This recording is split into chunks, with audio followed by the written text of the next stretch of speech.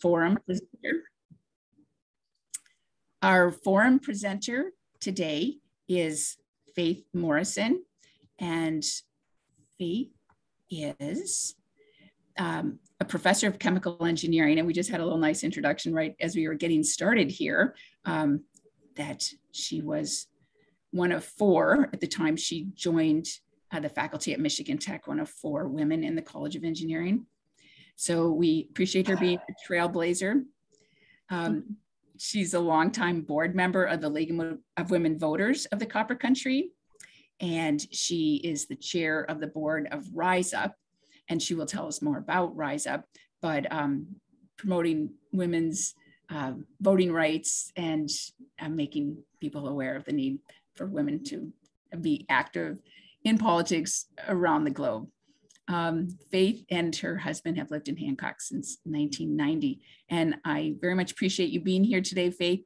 She's sharing with us a presentation that on um, voting rights in America. And it's, um, well, I'll just say it's history because a varied history. Um, she has presented before and it was excellent. And I wanted to make sure everybody had a chance to hear it as well. So thank you so much, Faith. Okay, thank you, Joan. And uh, Thank you to the Keweenaw Unitarian Universalist Fellowship for having me. I'm really delighted to be here um, with my talk on who gets to vote.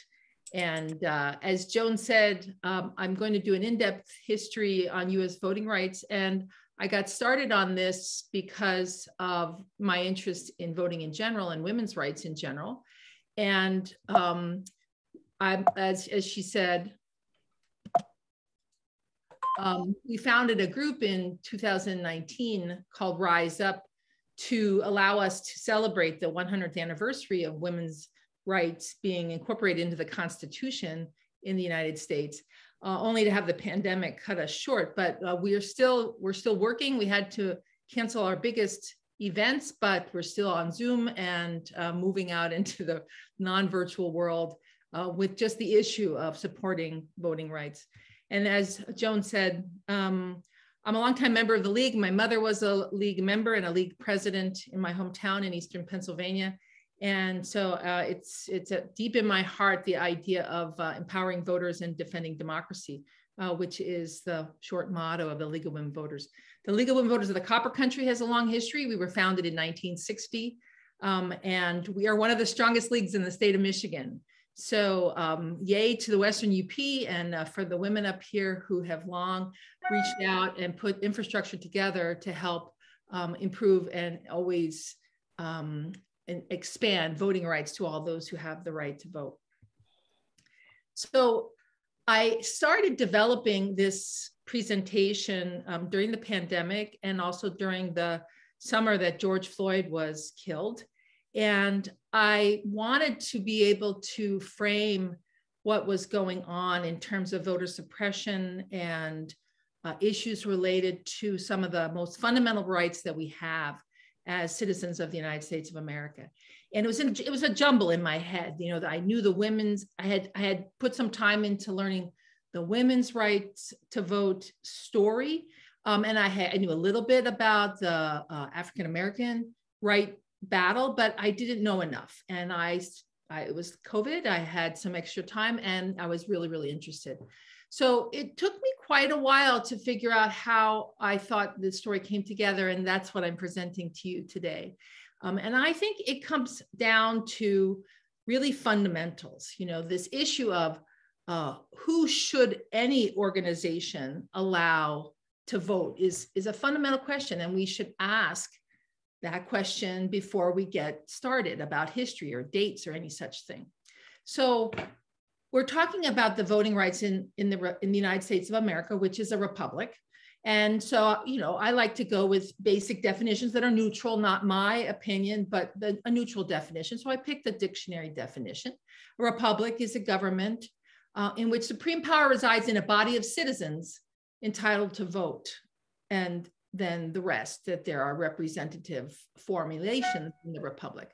But the issue is you get to vote if you're a citizen and if you've been determined to be entitled to vote. So uh, those that rule gets set down in the in the founding document of the or the the operating document of the republic, which in our case is our constitution.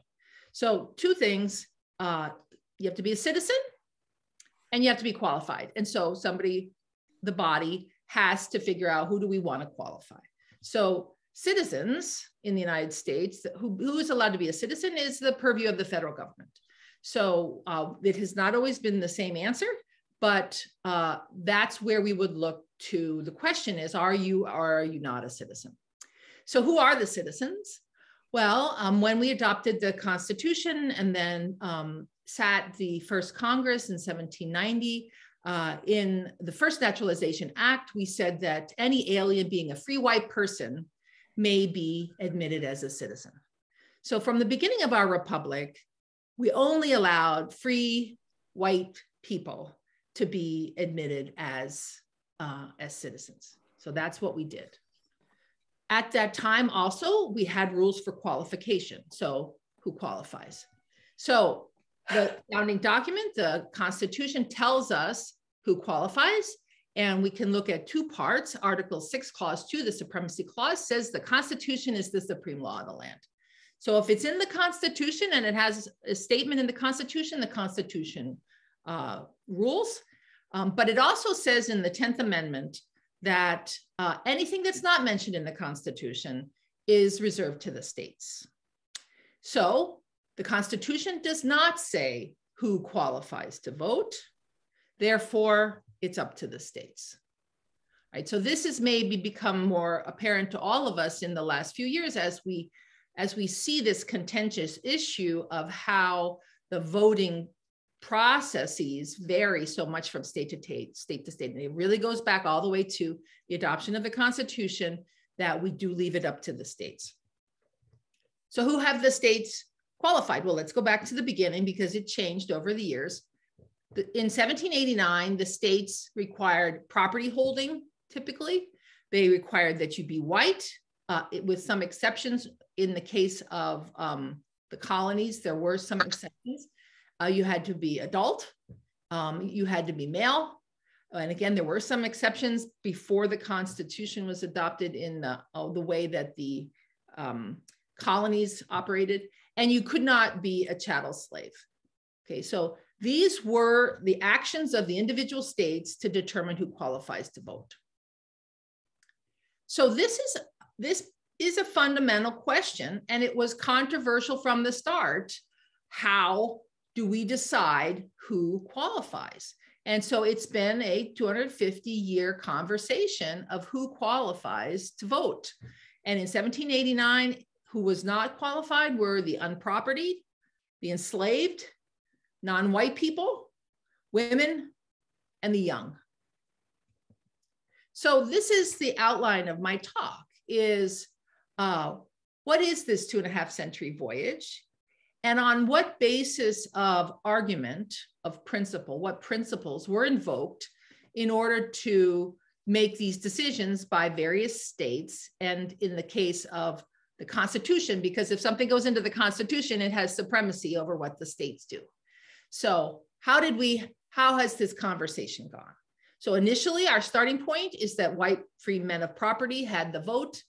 And then over 250 years, others were admitted in a bit of a zigzagged process that is a little bit complicated to articulate. We're going to give it a go. Um, and each time voting rights expanded, it was by vote, it's a republic, it was by vote of those who can vote. So by we started with this small group of people, the uh, uh, propertied white men, uh, who then had to be persuaded to change the rules state by state, or in the case of uh, constitutional amendment na- uh, nationwide, in order to change who had the right to vote. So it's a long story. And so you'll forgive me, I hope, if uh, I can't go into detail in every part. I do know a bit more about many of the tricky parts, but I, you know, the idea is to get out of here in an hour. So if you have questions at the end, I, I may be able to answer some additional questions that you might have. So this is the plan. There was the background. Now we're going to talk about how voting rights expanded, and then I'll talk about the current status of voting rights. So going to skip some of the details. It was a long talk when I first sort of pseudo finished it. All right. So let's start with the the year we're talking about, you know, 1790 and uh, and onwards. Um, at the beginning. And this was a very particular time in the history of um, European governance. Um, it was the modern colonial era.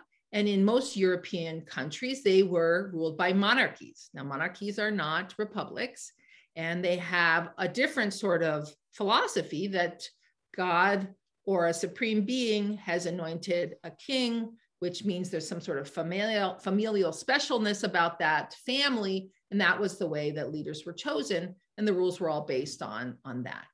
But in the 1700s, 1800s, and 1900s, there was a lot of transition of economic ideas, of social and scientific ideas, and of power structure.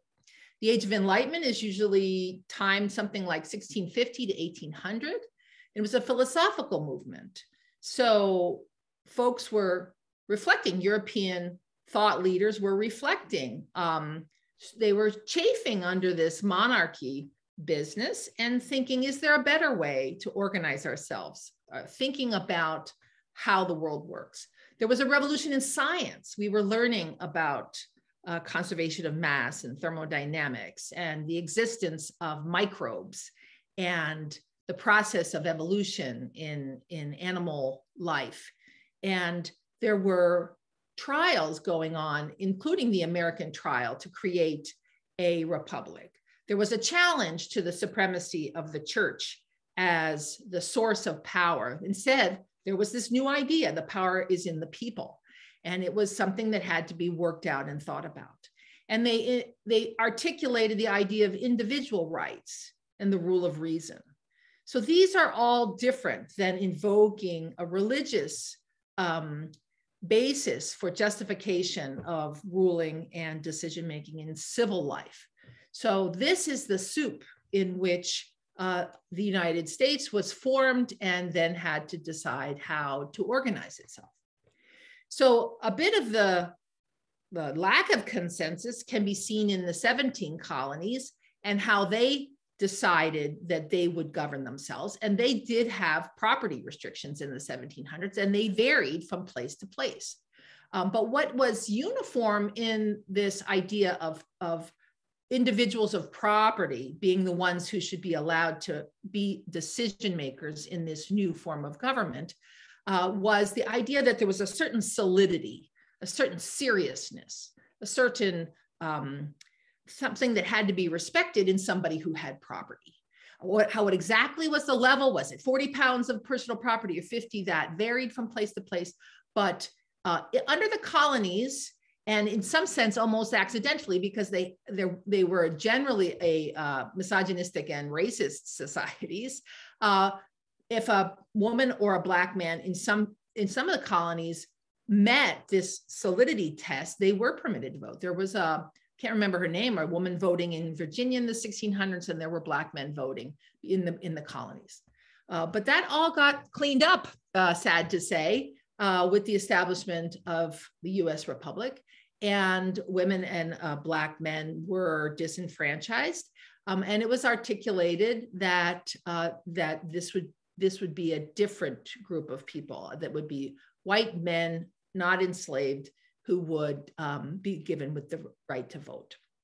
So the idea was that if you didn't, and the idea of these um, property rights was if you didn't have any property, you didn't have a stake in the government and you could be manipulated. Somebody could sidle up to you and say, hey, I'll give you two pounds if you'll vote for my candidate and we know that that did happen in some uh, in some episodes in in our republic over 200 years. So that was their idea that somebody who had a stake uh, by owning property wouldn't wouldn't be subject to that. So um, this was the status at the beginning but actually that property qualification is the first thing that went out. So um, when as i said in 1790 you needed property by 1840, more than 90% of white men in the US possessed the right to vote. So they either qualified with property rights or lived in a state that didn't have property qualifications. And by 1856, uh, those property qualification, qualifications were gone. So the first expansion of voting rights was white men who didn't have property were given the right to vote. So I'm going to keep track of these expansions of voting rights. So our nation fo following, as I said previously, the poor, the enslaved, non-white people, women, and the young were not allowed to vote. And then by 1856, uh, we left out property. You didn't have to have property. They, there was a change of heart in uh, the solidity and the um, reliability of white men of not property. So that was step one. So now the next thing I want to talk about is the issue of slavery. So of course, this is a enormous um, topic. And I'm going to ask five key questions, and I'm going to ask these again when I talk about women as well.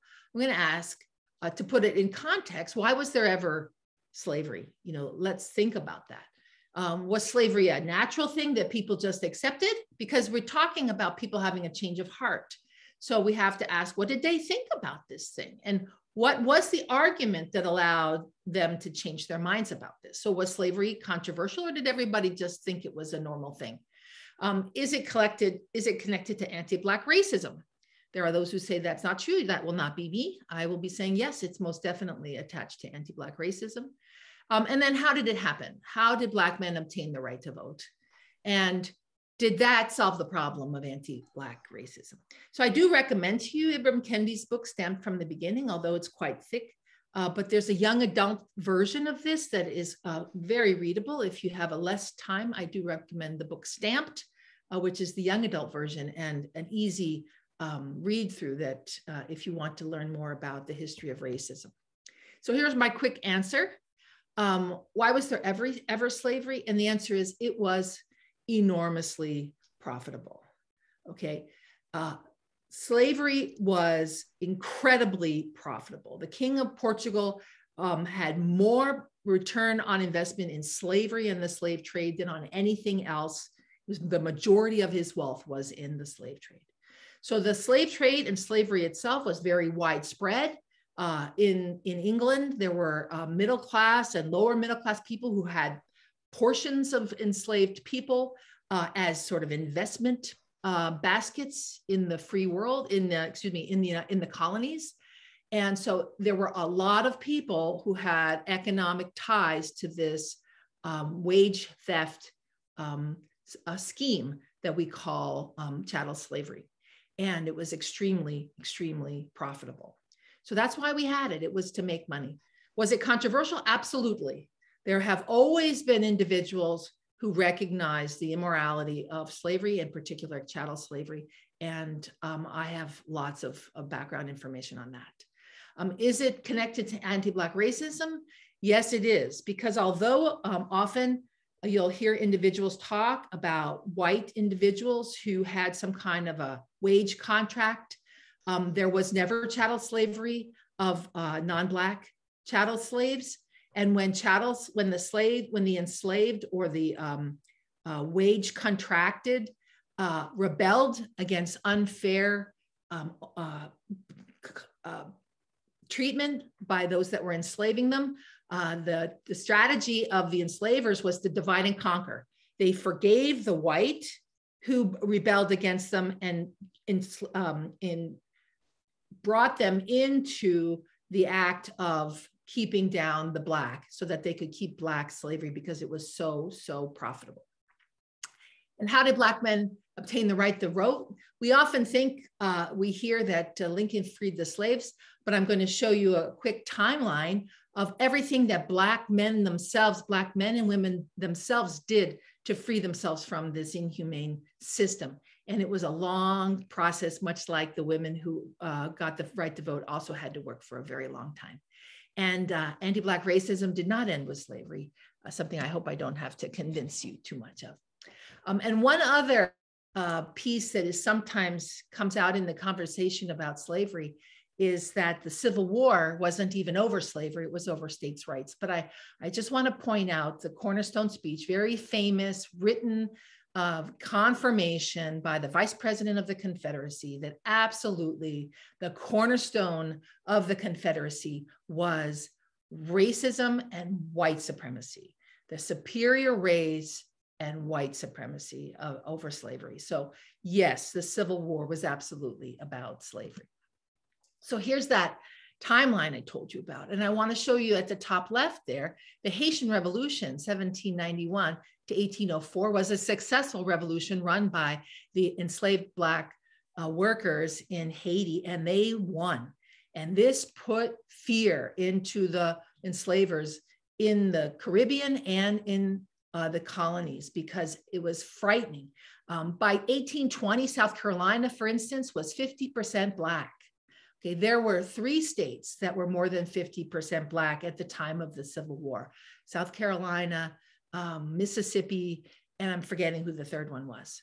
So this, this very profitable enterprise of black enslaving black people had spread, and uh, because it was so profitable, it was it was dug in and did not want to be changed. I want to show you also that the Industrial Revolution was going on at the same time. We often study the first Industrial Revolution neutrally, um, as as if it's just scientific pro progress, but we were um, we were fighting slavery uh, in the Western Hemisphere this whole time. There were slave rebellions. Um, slave importation was outlined in, in, was outlawed in 1807. Uh, there was the Denmark Vesey slave rebellion in South Carolina in 1822, and gradually uh, those who were opposed to slavery uh, were opening the opportunity for education for Black men and eventually Black women. The Underground Railroad was running the whole time. So this was a a multi-year, 60 plus year process of those who are enslaved fighting and their allies among, in particular, um, the, the, um, the some religious sects that were strongly against, um, against slavery. And it eventually led to the Civil War and the three amendments to our Constitution that changed the status of Black people in America. So the Reconstruction Amendments, there are three of them, um, the although although Lincoln signed the Emancipation Proclamation, it only freed the slaves in the Confederacy. So the uh, the states that were not in the Confederacy, like Maryland, still had legal slavery after the Emancipation Proclamation, something I didn't learn when I learned about the Civil War. So, but slavery was in fact outlawed in the United States of America in 1865, and it happened in the 13th Amendment. Um, and that's the text is there on the screen. The 14th, so, so going back to my, my list and keeping track, the poor had become uh, given the right to vote um, through uh, 40 years of changes of rules in the states. The enslaved were given the right to vote in principle um, with the 13th Amendment. The 14th Amendment Remember, we said that the right to vote is given to citizens and to those who are um, entitled by uh, qualification, qualified by the states. So you first need citizenship. And so when the previously enslaved, although they are no longer enslaved, are they citizens? Well, this was clarified in the 14th Amendment through the establishment of birthright citizenship. So all persons born or naturalized in the United States are citizens of the United States except the 14th Amendment, and I'll talk about this in a little bit, excluded Indians non-taxed. So Indians were members of sovereign nations, and so they were not subject to tax, and they were exempted from the birthright citizen rules of 1868. So the reuniting of the United States uh, after the Civil War, uh, in order to be readmitted to the Union, the states who had seceded uh, had to had to ratify this 14th Amendment. And then the 15th Amendment. To put the final clarification into the Constitution, you may not, the states, although they qualify the voters, they may not disqualify you by base of race, color, or previous condition of servitude. So you can sort of feel sort of your lawyer, internal lawyer going here.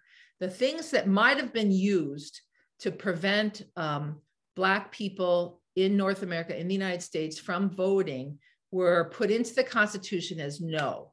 You can't uh, you can't use race, color, or previous condition of servitude, and they are citizens because they were born here or naturalized.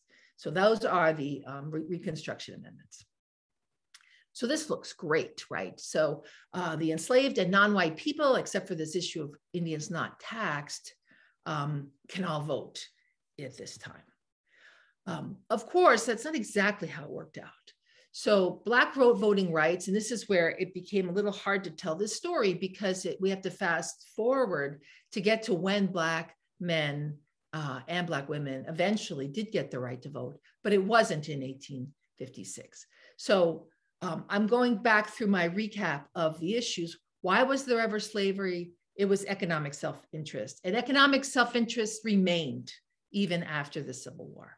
Was it controversial? Yes, it was. The abolitionists, led by the Quakers, um, were Quakers, by the way, were slaveholders, uh, but within the Quaker communities, they they abolished slaveholding first, um, and then um, were very notable in their uh, activities against slavery. Uh, and then these amendments that I'm talking about. Um, is slavery connected to anti-Black racism? There was, I, I mentioned the kind of thought processes that were going on through these centuries, through this Enlightenment time. And so there was a lot of published scholarship that said that uh, God intended the white to take care of the Black and that they're not capable of certain things. And these were put into various laws. So there were plenty, after even after these three amendments, there were plenty of racist laws on the books in the United States that uh, we still struggle with today. Um, and then how did Black men obtain the right to vote? And it was Black men's struggle and their credit uh, that they achieved this, along with allies of other races. And it wasn't really until the Voting Right, the Civil Rights Act of 1964, not 18, 1964, and the Voting Rights Acts of 1965, that there were uh, laws in place to address the last point about anti-black racism in the form of Jim Crow's laws, Jim Crow laws, legal segregation, murder in the form of lynching, displacement in terms of the Great Migration, housing covenants, which we had up here in the North as well, terrorism, anti-black terrorism in the form of lynching, voter suppression in the form of grandfather clauses. As I said, I have many notes on many of these things. Mass incarceration, which is a more modern form, but it's actually embedded in some of the language of the Constitution, which exempts uh, using um, uh, uh, if, if people are, in, are jailed, they can be denied their voting rights, for instance, all the way up through modern times, which I'll come back to at the end. So in my update of voting rights expansion, I, I say, yes, the birthright citizenship of the 14th Amendment did um, give Black people on who are in the United States. They gave them citizenship, but there was so much voter suppression and legalized segregation and legalized voter suppression that it doesn't really count as having obtained the right to vote. So let's take a little sidebar on this issue of birthright citizenship uh, before we jump into the women's struggle. Um, you you saw that 14th amendment a few slides back. It said if you're born here you're a citizen. Well uh, mr wong kim ark was born in the united states in 18 in the 1800s um, after that amendment and should have uh, been recognized as having birthright citizenship but he was born of chinese parents. And when he went back to china and tried to readmit come back to the country of his birth he was not admitted and he took his case to the Supreme Court. And in 1898, in US versus Wong Kim Ark, um, it was in fact finally ruled that birthright citizenship did apply to other races. Um, note that in 1882, we had the Chinese Exclusion Act. There was a racist attitude about Chinese laborers. So note that slavery is also a labor issue, it's wage theft, the theft of the um, work of the Black people who were brought here. And the Chinese laborers were another attempt to get more labor, to get more work done. Um, but people didn't really want the Chinese to stay. And they put that in writing in 1882. So um, that was the law of the land until 1924 when the national um, gave quotas, racial quotas um, on immigration um, so another attempt to fight the idea of um, citizenship through Im, uh, immigration in this country, it limited to white people, and they effectively banned East Asians and, and Asian Indians. So the issue of anti-Black racism, it goes back to Black enslavement, but there was also racism against Chinese and Asians um, that was uh, rampant throughout the late 1800s and the early um, 1900s. So, although non white people, again, were given citizenship and should not have been denied the right to vote on the, by the 15th Amendment um, due to their race, um, there, were, there were violations of this through, again, Jim Crow voter suppression and uh, laws that specifically Im- named immigrant groups that were not from Europe as unwelcome and not deserving of the right to vote. So we actually had still um, very serious uh, limitations on non-white people. So perhaps you can tell that's a big story. And again, I have lots of extra notes that I, again, don't want to take too much more of your time. But going back, just summarizing a little bit, in 1790, citizens had to be free white persons qualified by the states. Um, but in 1868, due to the um, 14th Amendment, birthright citizenship exists, but there was still voter suppression and ways around um, giving the rights that were in the Constitution. So we've talked a little bit about the poor, Black men, and non-white men. Let's, um, let's get to the women. So I'm asking the same questions about women's voting rights that I asked about African American voting rights. Why were women ever left out of voting? We, you know, nothing we've said so far has explicitly explained why women weren't included in the first place. Um, was gender equality controversial? Was there some? What was the what was the, the Enlightenment thought process about the idea of women and what women should be allowed? What was that? Let's look that up.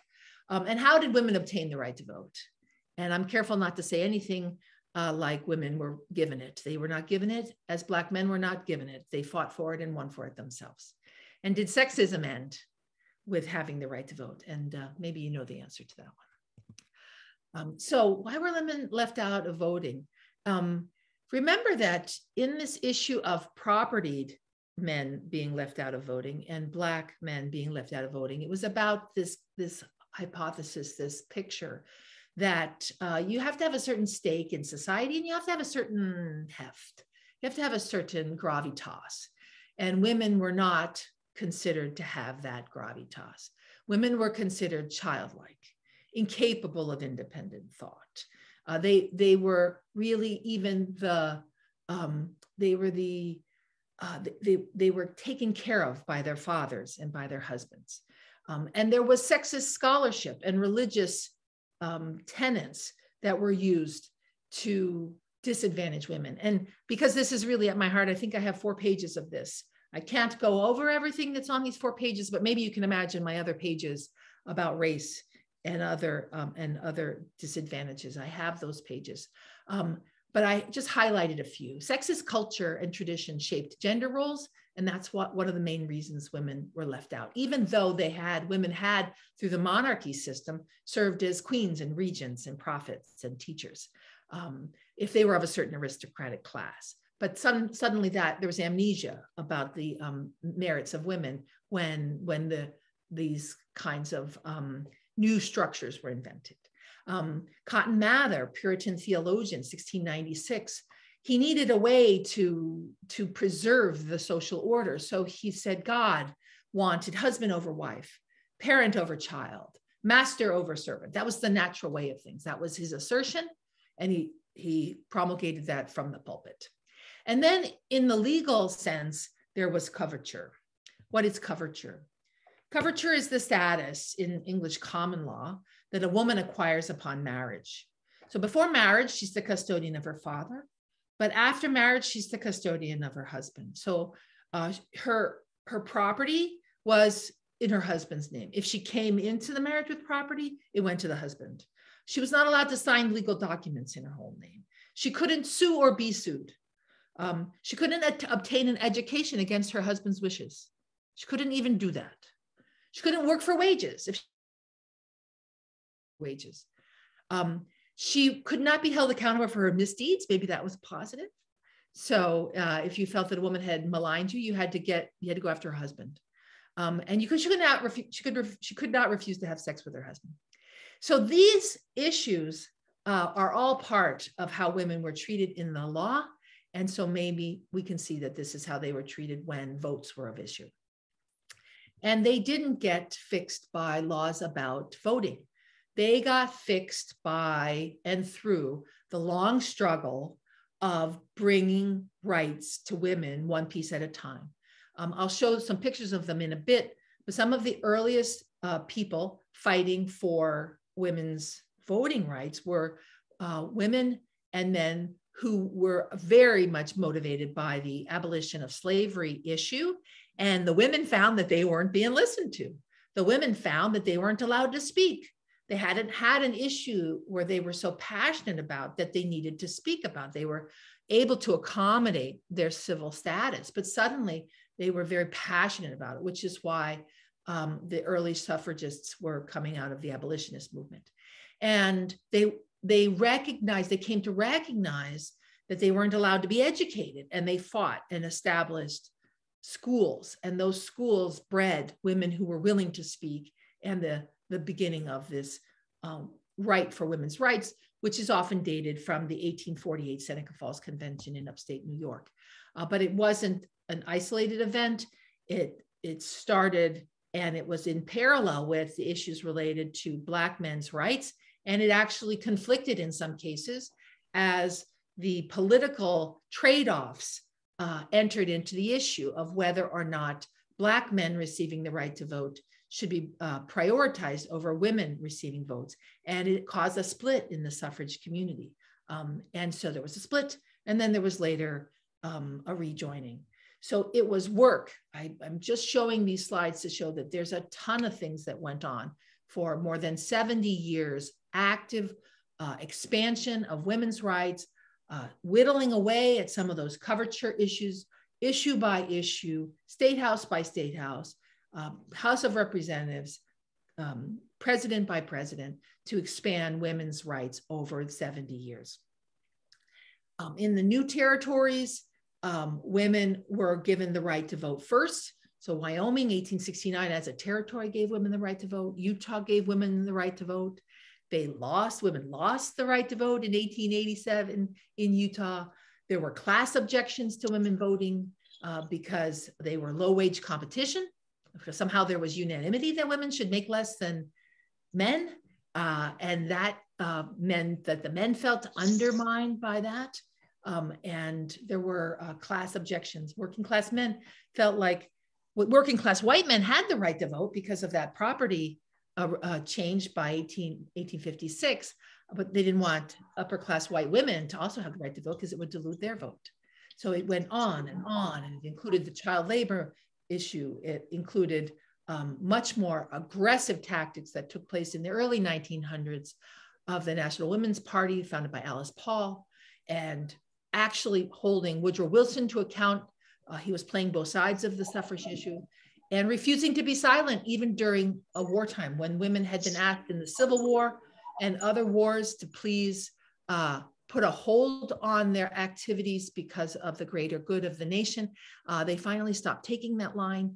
And during World War One, uh, there was a group. There was a group that wanted to be silent, but there was a group that was not, and did lead to arrests and force feeding and inhumane treatment of the women who fought for the right to vote. So it finally took place. Uh, again, fascinating story, lots of more slides about this. August 26, 2020, there was a constitutional amendment, the 19th, uh, active advocacy for 72 years to achieve the right to vote. None of the signatories at Seneca Falls lived to vote under the 19th Amendment. No leader working for the final passage had been born in 1848. It was a very, very long process. So uh, but before we uh, get too happy, Black women suffered from the same Jim Crow um, voter suppression as Black men. And in fact, there were Black, there were white suffragists who tried to calm down the fears of white men and said, don't worry, you can suppress the vote of the Black women. You've been suppressing the vote of the Black men all these years. I'm sure you'll be effective at doing that, which in fact they were. Uh, so the Black, the white women's suffrage movement is not uh, clean hands on, on the issue of Black women. Um, and this question of did sexism end with suffrage? Uh, let's just look at the date there on the Lilly Ledbetter Fair Pay Act, 2009. Uh, no, Uh, there are still fights. There is no amendment in the Constitution that says that states may not uh, discriminate against women on basis of sex. That is not in our Constitution. I would very much like it to be there. Um, and so there are still issues. And on uh, on March 15th this year, we will celebrate Equal Pay Day. Um, as women's equality of pay gradually approaches, uh, we're still 17% behind on average uh, with what men are paid. So I promised that I would show you a few of the early suffragists. Jarena Lee was an early speaker. Um, so uh, as I said, women, it was considered really inappropriate for women to speak in public. And the first uh, people to speak in public were in the churches, and one of them was Jarena Lee for the Episcopal Church in 1819. And two of my favorite suffragists were Angelina and Sarah Grimke from South Carolina, who were Quakers, uh, who spoke in public and spoke in front of the Massachusetts State House and, and went on speaking tours. And uh, they came from a slave owning family and gave up everything for their belief in the equality of human rights. Uh, the principals at the uh, Seneca Falls Convention were Elizabeth Cady Stanton and Lucretia Mott, both Quakers. Um, and uh, that the thing I want to point out from that Seneca Falls Convention that they passed um, all these sentiments that were the uh, consensus of the group, and they were all unanimous, except for the one that asked for the right to vote for women. And it passed by a single vote, um, uh, barely passed. The, the attendees were afraid that their whole mission of um, trying to get education and civil rights for women would be jeopardized by asking for the ludicrous idea that women should be allowed to vote. They thought they would be mocked and laughed at, which they were. They were. They were mocked and laughed at for asking for the women's right to vote. So, following my other um, timeline, here's a timeline of women getting the right to vote. Uh, in the mid 1800s, women started to have uh, access to education. Uh, there were women's colleges. There was the Women's Anti Slavery Convention in England, motivated Lucretia Mott and Elizabeth Cady Stanton to have that Seneca Falls Convention because they were not allowed to speak and they were segregated into this little women's behind a behind a, a velvet rope where the women could sit and not be allowed to speak. And that motivated them. And then uh, sojourner truth famous for uh, ain't i a woman speech in 1851 um, and women gradually forming groups that were significant groups uh, like the women's christian temperance union and the national association of colored women's clubs and women's clubs in general and western suffrage uh, constant pushing in this wheel to get women's rights. So on the left are some of the things that we've heard about when we've heard about history, about the March West and the Mexican American War and the Gold Rush. And I put a, a, one close to our local heart here, the founding of Michigan Tech, and the Second Industrial Revolution. And yet, and yet, uh, in my previous timeline, I showed how Black men were struggling for the right to vote. And here on this timeline, I'm showing how women were struggling for the right to vote, which was finally established in the 19th Amendment in 1920. So here's the, 19, uh, the 19th Amendment. The right of citizens of the United States to vote shall not be denied or abridged by the United States or by any state on account of sex. Uh, it finally came into force on August 26th, which is celebrated as Women's Equality Day. So I invite you to please celebrate Women's Equality Day um, August um, every year. So back to our summary sheet. Uh, women now allowed, except we have to put the same caveats in. If you were a Native American woman, woman, if you were a non-white woman, a black woman, um, you a Chinese woman, an East Asian woman, you were not allowed to vote in 1920. So progress, yes. Uh, let's let's get to, let's get to these other issues. So, what's this about Indians non-taxed? What's the story here? So, this is one of the reasons I called this a zigzaggy story, right? I can't talk about everything in order because there were parallel paths going on uh, to these rights of expansion. And um, the, the success in terms of voting rights of the Civil War and the Reconstruction Amendments exempted Indians non taxed. So, what is the issue of Native American uh, voting? Um, as I said previously, because Native Americans are dual citizens of tribal nations, actually, they weren't citizens yet. They were considered citizens of tribal nations. That was used as a reason for them not to vote. So they did not get the right of native born citizenship. and they were explicitly exclu- excluded, just in case anybody was going to argue that they should be included. They were born here. They were explicitly excluded in the 14th Amendment. And they had the same racist, demeaning um, issues of gravitas applied to them, that they were childlike and they were the guardians of the white people and therefore did not merit the right to vote. And they were subject to the same kind of Jim Crow issues, literacy requirements in various states. And remember, the states qualify the voters. So, um, as I said, not treated, to tr- trusted to vote wisely. So, this is the unifying theme of, of, of keeping voting away from people, is not trusting them to vote wisely. So, how did this ever change? In 1924, uh, through the acts, you won't be surprised to hear of heroic and um, merit- meritorious Native Americans of all stripes um, the Indian Citizen Act was lobbied for and fought for and finally passed in the United States in 1924, affording full US citizen right to the indigenous people of the United States, four years after the 19th Amendment, uh, where women got the right to vote. That did not prevent certain states from trying to have laws to non qualify, because I said from the beginning, citizenship, you had to be a citizen, you had to be qualified. So the um, Indian Citizenship Act addressed your citizenship, but you could still be not qualified.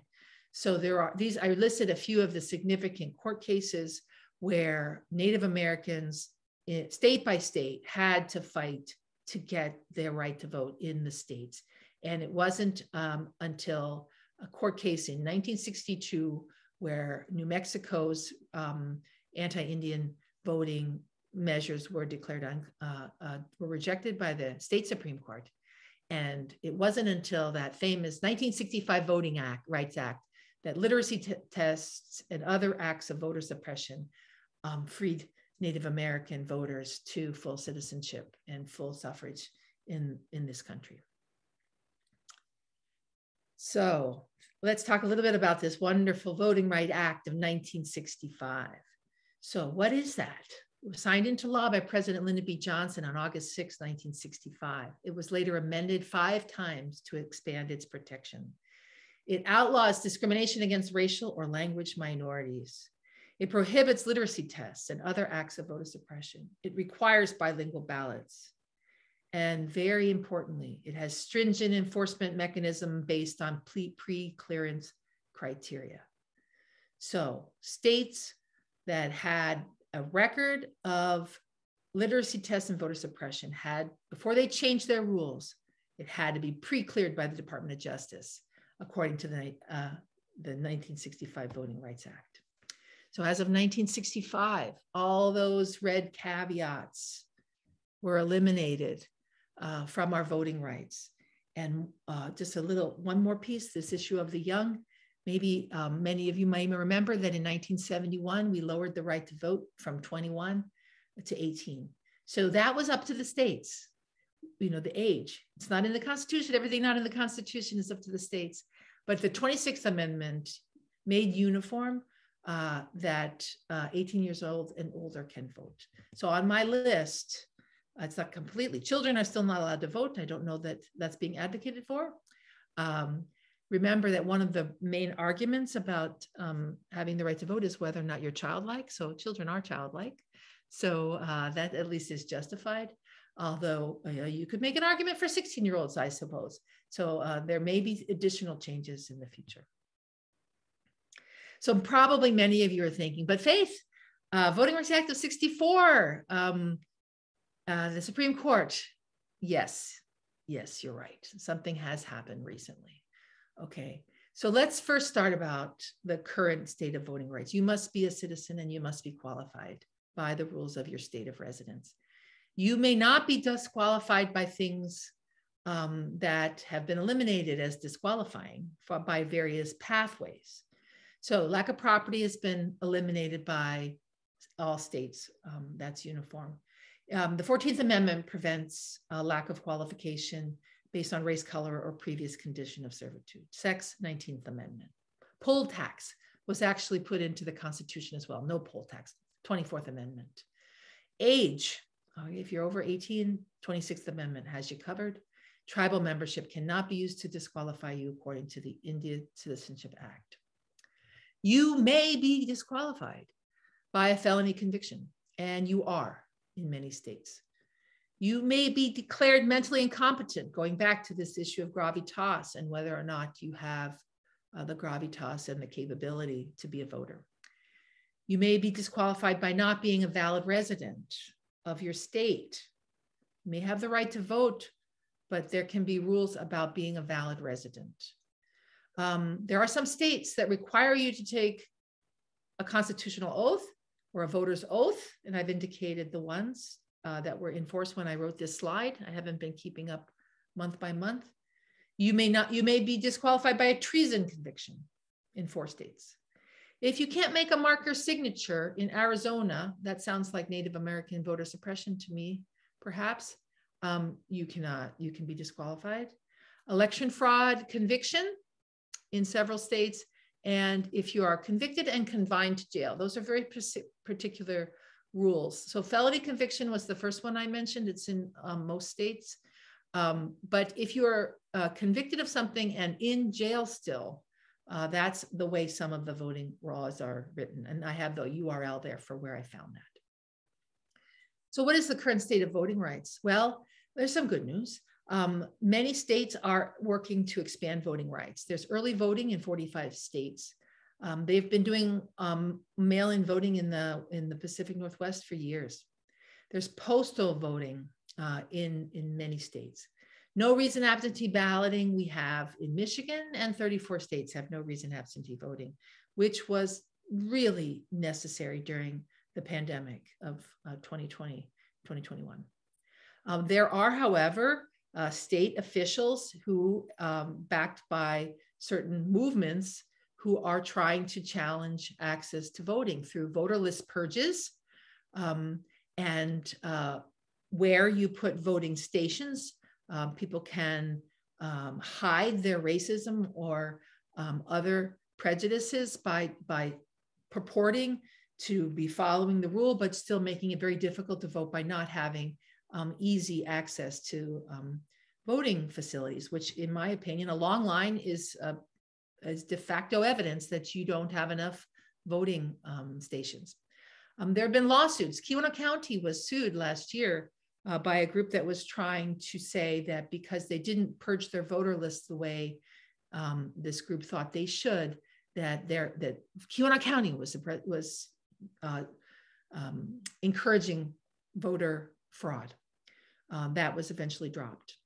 Um, broadening disqualifying conditions. I gave disqualifying conditions that are on the books now, but you can make up whatever you want. And then it has to be challenged in court if it's challengeable. Um, after all, the states do have um, the purview and then polling places.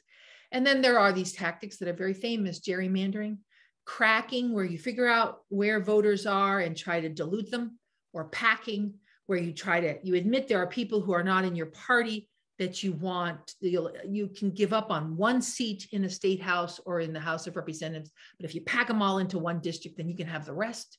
Um, and then partisan targeting of various election rules. So this as i alluded to this voting right act of 1964 had wonderful pro provisions and it did serve to eliminate a lot of legally protected voter suppression, and it had stringent enforcement mechanisms that were renewed time after time.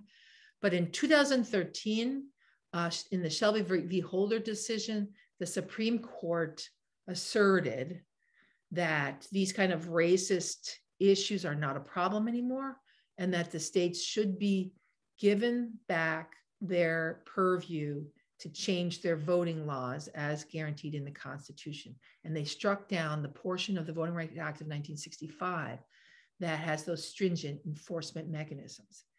And it's up to Congress to fix what the um, justices of the Supreme Court cited as the problem. And it cited as the problem some rules that are, they, they say are out of date. So they're not saying you can't have stringent enforcement mechanisms to the Voting Rights Acts of 1965. You just need up to date ones that reflect the values of society now, because that's what Congress is supposed to do. Okay. So Congress must update the formula. That is what is being asked for by voting advocates. And that is what is not happening in the United States right now. So since Shelby, and especially after the 2020 election, new restrictive voting laws have spread across the country. According to the Brennan Center, 19 states passed 34 laws in 2021, not to expand or protect the vote, but in a barely barely camouflaged effort to, in fact, um, make votes go a particular way that, that the state houses want. So I think I might have done okay on my time. I'm happy to report, uh, but you'll notice that uh, I, I, there was a lot more to it. And so if you have more questions, I may be able to answer that. Um, so here's my summary of various summaries. Uh, voting rights have expanded considerably since they were first established for free white men of property in 1790 in the United States of America upon our establishment as a republic. It has never been easy to expand voting rights. The property took 50 years. Uh, Black men took more than 100. Uh, Black people took more than 100. Uh, women took 70 plus years. And it was activists in the categories of Native American uh, women, uh, Native American uh, citizens, citizens of, of uh, non white citizens, women, uh, Black people in general, uh, even more profoundly because of their status in the society that had legalized slavery they are the heroes of their own stories of how this change was made. And uh, there's the fight continues, as they say, because um, we are still a, a nation that um, uh, fights to retain advantages. So if a group has an advantage, we fight to preserve that, and that continues to be the fight. So for the purposes of the video, Okay, I, I want to uh, bring back up the issue of the League of Women Voters. The League of Women Voters is open to men and women and uh, even non-voters. Uh, so please join us. Um, you have a very active um, League of Women Voters here in the Copper Country, and there's plenty to do. Um, and uh, the, as I said, the Rise Up group is uh, still active. I'm going to be hosting a discussion of five uh, suffragists a program that was made by PBS. And on the 24th, uh, there'll be an online Zoom discussion of that. And Susanna Peters is hosting a book reading of an important suffrage book, um, Roses and Radicals, um, which is a wonderful book. And that'll be in April. So uh, join us. Um, and then this is what I was saying for the purposes of the recording. Uh, there's a whole bunch of URLs here at the end of my talk that once this video is available to you, you might be able to do a little bit of your own reading if you'd like. And so there, I'm reading them into the record, like the like the like the congressmen do with the congressional record. I'm reading uh, the references into the record, and I invite you to join me in reading some of these many, many, many bits of history. And so I'll just stop with this slide again and say I'd be I'd be happy to answer any questions.